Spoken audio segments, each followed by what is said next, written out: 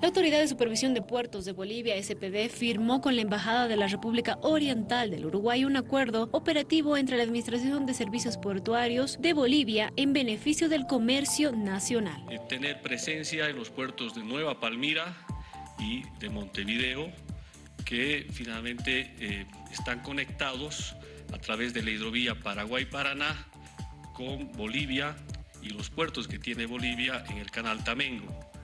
pero fundamentalmente hoy es importante y relevante esta firma de acuerdo operativo, toda vez que el 31 de diciembre del 2018 se firmó un acuerdo para desarrollar un modelo de negocios público-privado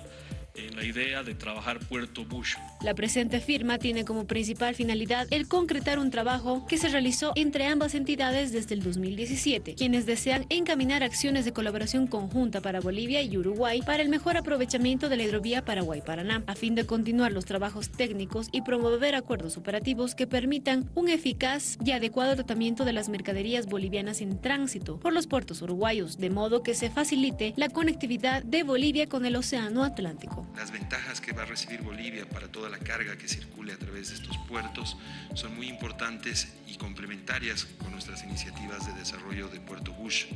para la utilización de la hidrovía. Estamos seguros que este acuerdo operativo facilitará la conectividad de los productores bolivianos con mercados externos a través del acceso al Océano Atlántico, permitiendo a nuestro país mejorar la presencia en la hidrovía Paraguay-Paraná. Nuestro país ha experimentado 13 años de estabilidad política, de crecimiento sostenido de nuestra economía y hemos desarrollado proyectos y venimos desarrollando nuevos proyectos para la, para la industrialización de nuestros recursos naturales. Los puertos de Montevideo y Nueva Palmira permitirán mover y recibir carga en tránsito a favor de Bolivia, con tratamiento preferencial y costos más bajos, con exoneración en almacenajes estas pequeñas cosas que se están dando en la región están dando la pauta de que podemos sacar adelante un marco sur muy fuerte donde podemos interrelacionarnos y aprovechar las diferentes ventajas que tenemos como país. Sin duda que nosotros al Atlántico lo estamos mirando todos los días, estamos trabajando muchísimo con el Atlántico. El puerto de Montevideo es un puerto eh, muy, este,